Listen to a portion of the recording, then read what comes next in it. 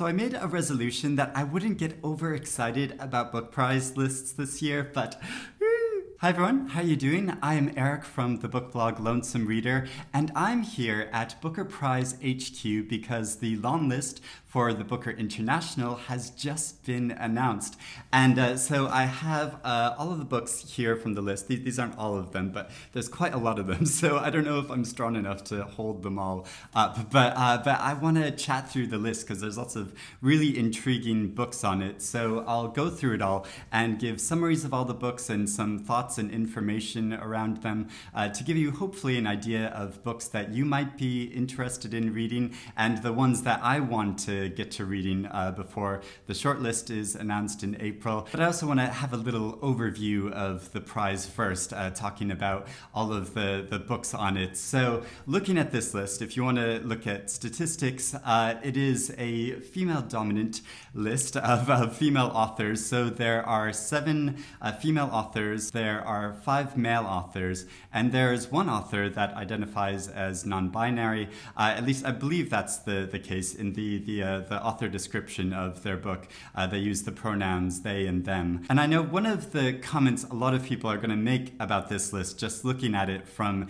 the outside, is that it is again a very European-dominated list. There are seven books from the list that are from European countries, although there is uh, the Eighth Life, which is uh, from Georgia, which I think technically that country uh, is sort of classified as being in Europe, but of course, culturally and socially, uh, the people of Georgia identify much more with European culture, and uh, and the the author of this novel, uh, I believe, now lives in Germany and writes in German. So you know, it's basically a German author, and and uh, so yeah, and the, the the rest of the books on the list, the the other uh, six novels come from uh, countries all around the world, fairly evenly spread. There's a couple from South America, one from North America, one from Africa, one from Asia, and one from the Middle East. And I know the, there'll be a, sort of this criticism of, of that it's, it's, the list leans more towards European novels. And I'm not really sure why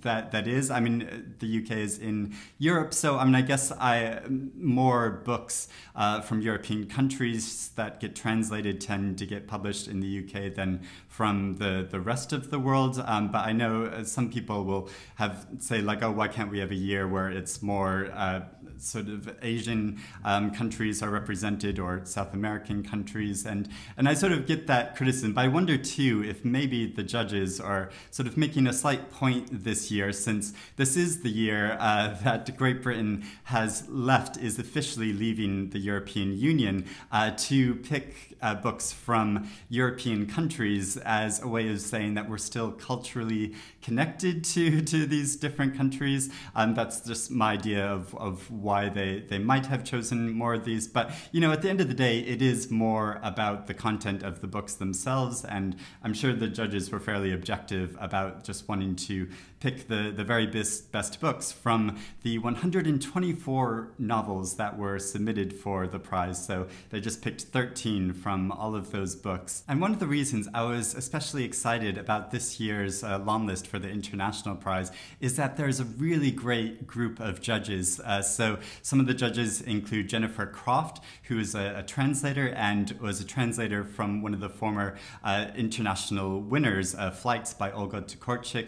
And uh, also on the list uh, of the group of judges is Valeria Luiselli, uh, who's a brilliant writer, very important writer, um, whose most recent novel is Lost Children Archive, which has been nominated for multiple awards, including the, the main Booker Prize last year and the, the Women's Prize. And just a few days ago, it was uh, shortlisted for the Rathbones Folio Prize uh, for this year. Um, so that's really exciting. And then also uh, chairing the, the group of judges is is uh, Ted Hodgkinson, um, who is head of literature at the South Bank Center, which is one of my favorite venues to go to for cultural events in, in London. And uh, I know he's really passionate reader and, uh, and always takes special care to bring international authors to the South Bank Center to have conversations and discussions. Um, so it's a really great, you know, smart group of judges who I trust, you know, that they're really readers first because honestly, with some book prizes, I know they go more for kind of the celebrity judges um, who might not necessarily, you know, reading might not necessarily be the thing that they do first. Um, but with all these judges, I know that, you know, they're very passionate, committed readers. And so, you know, they're going to be very judicious about which books and only choosing the very best books. So, you know, that is one of the reasons I'm really um, excited about this year's prize. Um, and just very quickly before I go into talking about all the books, um, it should be noted too that two of the novels haven't actually been published yet. I know this is always an issue for people looking that want to follow the prize and read all the books on the list. Um, so, The Discomfort of Evening, I believe, is due to be published around mid March, and um, Samanta Schweblin's Little Eyes is due to be published in mid-April, um, which is will actually be after the shortlist announcement, which is on April 2nd. Um, so, so that might be an issue for some people, though with last year, um, there were two books that hadn't been published when the long list was announced. And so the publishers rushed the publication and brought them out beforehand. So that could very well happen again this year. Um, we, we don't really know yet, uh, but I'll post, uh, I'll pin a comment in the, um, the comments below this video. If it turns out the, the publishers do bring the publication date forward, um, then you, you know that um, you'll know that you can get them uh, beforehand before the the, the shortlist announced if you are really interested in reading these, these two books. So, okay, I'm going to go through and, and discuss all, all the, the novels now, the 13 novels, and give my thoughts about them. And I will go in alphabetical order uh, by author surname. The first novel is from South Africa. It's Red Dog by Willem Anker. It's translated by Michiel Heyns, and it was uh, first written in Afrikaans, uh, but was only just translated into English and published in English language countries within the past last year, uh, which is why it's eligible. And it's looking at the colonial history of uh, South Africa, the changing colonial history uh, from Dutch to French to English. And it's looking at this story, um, it's set in the 18th century um, and focuses on one larger than life man and his really epic story, uh, very filled with lots of very violent scenes. I, have been uh, given the indication that there's lots of violent scenes uh, in this novel because obviously South Africa's history has been very bloody and, and violent as you know there's been changing rule um, and it's sort of meant to be a part a novel and a part historical account looking at that, that period of history. Next is a novel from iran and that's the enlightenment of the greengage tree by shokoofeh azar. And uh, i know we always say name the translator um, but actually the translator for this novel uh, wanted to be listed as anonymous. Um, i don't know if the translator still lives in iran and is slightly nervous about being public about translating translating this novel, but um, but yeah, the, the translator is just listed as anonymous, and the the author actually moved uh, to Australia in 2011 um, as a political refugee, um, so now lives in Australia, and uh, and so this novel um, is set in Iran um, after the 1979 Islamic Revolution, and follows the, the story of a 13 year old girl. It's narrated from her perspective, and she's actually a ghost. So that sounds like a very intriguing um, point of view to, to take on the country. And also, I should say, this novel was previously um, shortlisted for the Stella Prize uh, for Fiction, um, which is a Australian prize um, which, which honors uh, female writers uh, in Australia. Um, so I don't know if Jacqueline has read this or not. I, I haven't um, noticed, but she, she's a booktuber that follows uh, the Stella Prize pretty closely. From Argentina, The Adventures of China Iron, and it is supposed to be pronounced China. Uh, so this was written by Gabriela Cabezon Camara and was translated by two translators, uh, Fiona Mackintosh and Iona Macintyre. Uh, so the, I have to explain about the title of this novel. So China is another word for female, and then iron is the English word uh, for fierro, which is a reference to the gaucho Martin Fierro, uh, the main subject of an epic Argentinian poem from the 1800s, uh, which is meant to look at sort of Argentinian history and the, the formation of modern day Argentina. Um, so this is uh, looking at the, the adventures and journeys and travels of uh, Martin Fierro's wife, um, who he abandoned, and who is journeying across the country with a Scottish woman who becomes her lover. And um, there's sort of looking for a place place of sanctuary and safety. Um, it's actually described by the publisher as a sort of romp of a story. It's meant to be very funny, so I'm very intrigued to read this novel. From Norway, there's The Other Name, Septology 1 2 by Jon Fosse, and it's translated by Damion Searls. Uh, so this novel is, uh, it's about a man named Egil who uh, lives in a very remote location. He's uh, in his 60s, he's a painter and a widower, and, uh, and he lives a fairly reclusive life, but he discovers there's another man also named Egil who lives in a city and is also a painter, and his, his doppelganger. And so it's looking at these two different lives and two different um, ways of looking at loneliness. It's meant to be a very existential novel, sort of looking at big questions to do with life and death and faith and meaning. Uh, so you sort of know what you're getting. I mean, the, the author himself says, you don't read my novels for the plot. Um, so that gives you an indication of sort of what to expect with this novel. But this is an author that's won every major award in literary award in Norway, um, I think. And, uh, and is, his writing's been compared uh, to Samuel Beckett and Ibsen. So I'm, I'm quite curious about this novel. Next is a novel I already mentioned is from Georgia. Uh, that's The Eighth Life by Nina Haratischvili. Um, it's translated by Charlotte Collins and Ruth Martin. And I've already talked about this novel quite a lot on my channel in previous videos because it's one I started reading uh, last September and was really excited about, but it is such a long novel. So, uh, and as I do with some big books, I try to read other books while also reading it. And I know that's sort of a mistake because after about 200 pages of reading this, I started reading another novel and thought, I'll go back to this soon. But then I just didn't go back to it. And it wasn't because I wasn't enjoying the story, because it's a really good, uh, engaging story. But yeah, I just allowed myself to get distracted, which I know was a mistake and I know I feel guilty about. But now I have a good reason to go back and read it with earnest and finally finished reading it. So it looks at um, the story is about uh, the past century of uh, the country of Georgia and the really rapid political changes that went in the, the country um, as it changed to a communist country and the um, and it follows it's really a family epic following uh, multiple generations of one family.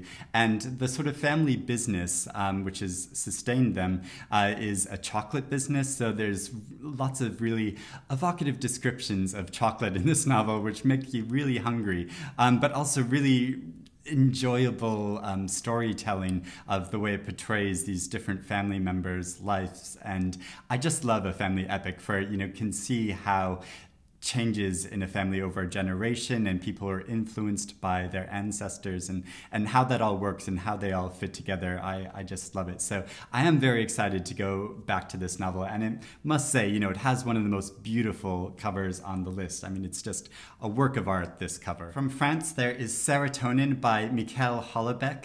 Uh, this is translated by Shaun Whiteside. So this novel concerns a depressed agricultural scientist um, who wants to uh, uh, fight for the plight of farmers in, in France, um, but it struggles to find an effective way to go about doing this.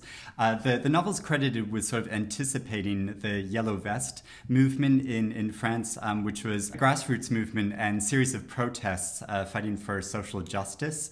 And uh, but the, the main characters also, um, one reviewer said, uh, sort of basically stalks uh, many different women and has many dodgy relationships with them. Um, so there's that as well. And Houellebecq, I've never read any of his novels. He's a very famous novelist and, and well known, um, but I've always had this sense that I probably won't get on with his work. So I have to say this is probably the, the book I'm least interested in. But if you've read this novel or read his work before, um, let me know in the comments below if you think I should give him a try. From Germany, there is Tyll by Daniel Kehlmann, translated by Ross Benjamin. And I've been really looking forward forward to this novel. Um, it sounds really intriguing. So it's the, the story of a German uh, figure from German myth called Till Eulenspiegel, uh, who was a sort of trickster and performer. And it charts his journey um, traveling uh, across uh, the country of Germany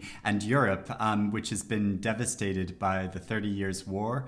And it incorporates a lot of real life historical figures into the story and his journey. Um, so it's a retelling of his myth. From Mexico, there is Hurricane Season by Fernanda Melchor, and it is translated by Sophie Hughes. Now, the translator, Sophie Hughes, uh, actually translated two novels on this list. Um, she, she translated the entirety of this novel, um, and she also co translated one of the other publications, which I'll talk about in a minute. So, I just read this novel a couple of weeks ago, and I loved it. I was. Um, was really hoping to see it on this list. So I'm, I'm so happy that it's it's here because it's a really engaging, uh, absorbing story of uh, so a uh, a local woman in a Mexican village um, who is referred to as a witch by a lot of the locals. Um, she is found dead, floating in a body of water, and it follows the story of a number of young characters who are uh, sort of associated uh, with her and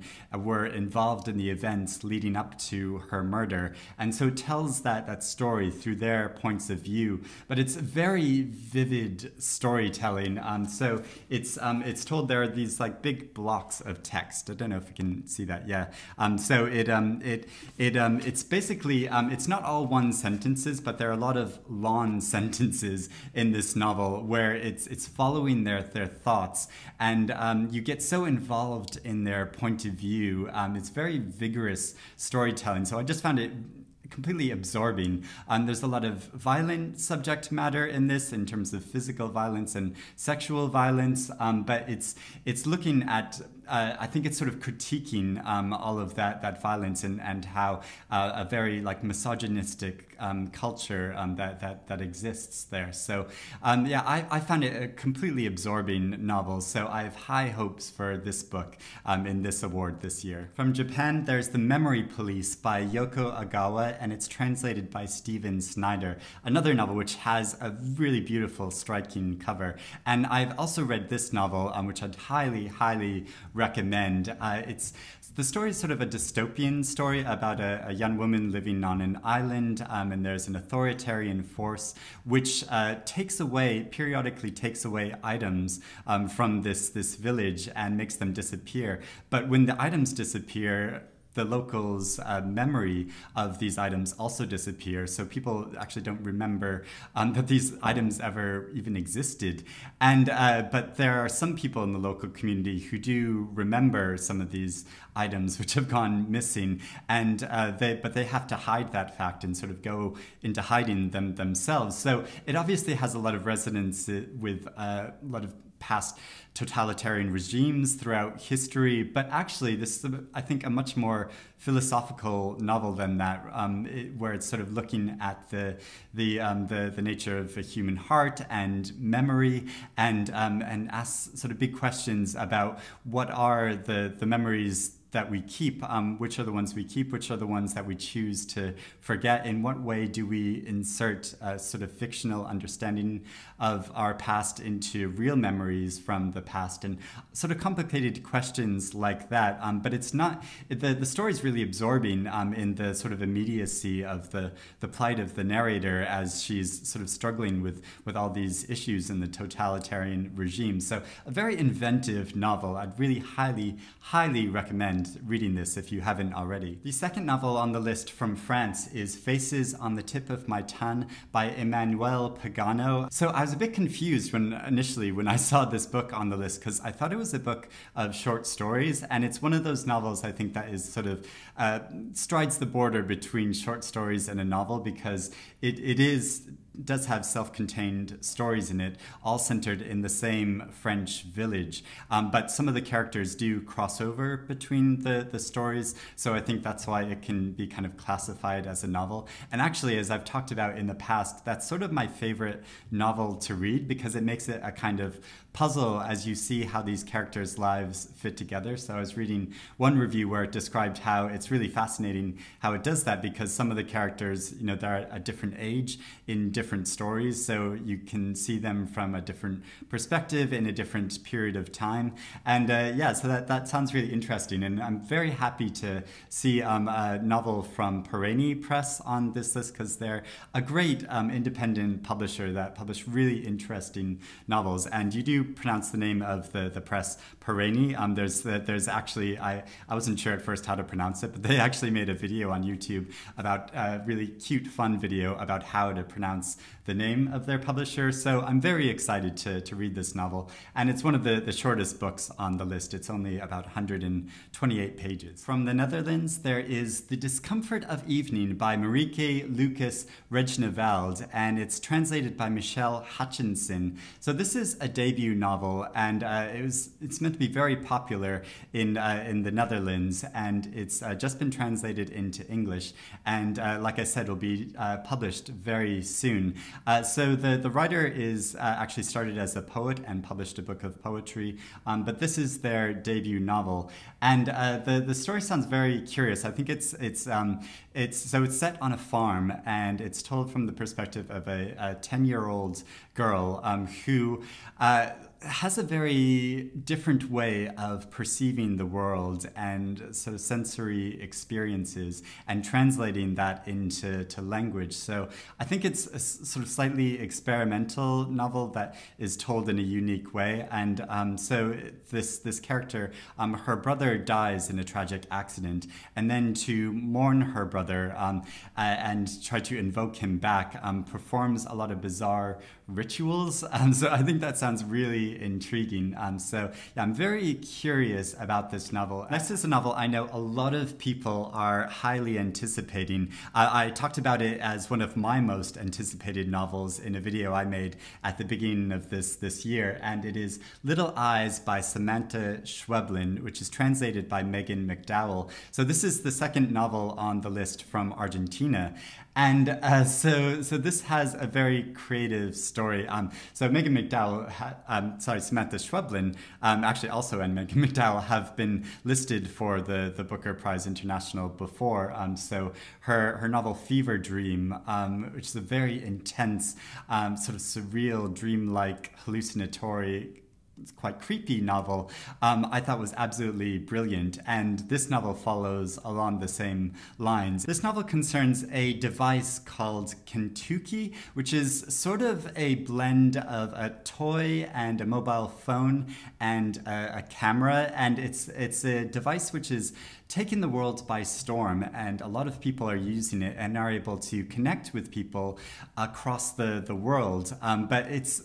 also has slightly sinister implications in how it does that and how it connects people. Uh, so uh, yeah, such an intriguing story. I'm so excited to read this. And look at the cover, how uh, there are cute pandas on the cover, but then on the back there are creepy pandas. And finally on the list is from Spain. Um, it's Mac and His Problems by Enrique Vila-Matas. Uh, it is translated by Margaret Jull Costa and Sophie Hughes. So this is the second book on the list that is also translated by Sophie Hughes. Uh, so this story is, is meant to be quite playful and funny. Um, it's the story of Mac, who is a, a, man over 60 years old, and he's writing a journal and a diary uh, about his, his everyday life. And he stresses that it's not a novel he's writing, it's a diary. Um, but his, his, uh, his wife sort of criticizes him for, for writing this and thinks that it's going to be another reason why he's going to get sort of depressed and melancholic and, and sort of inward looking rather than looking out.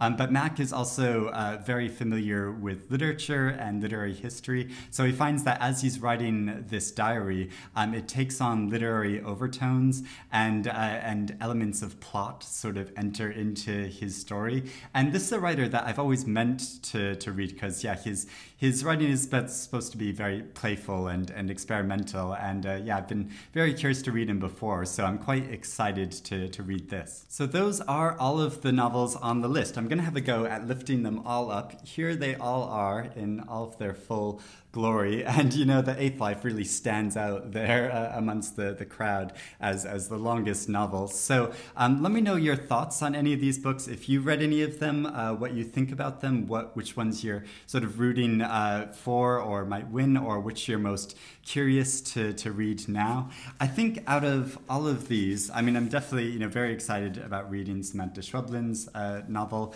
And uh, yeah, and want to get back to The Eighth Life very soon and, and finish reading that. And like I said, I think the only one I'm probably not all that interested in is Serotonin. Uh, but like I said, if you, if you had read this author and read this novel in particular and think I should give it a try, let me know.